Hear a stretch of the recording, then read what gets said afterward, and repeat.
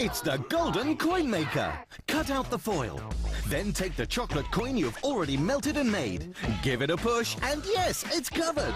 Now pick your designs and put them in the press. A quick twist of the top, and wow, out comes your own golden coin. The Golden Coin Maker.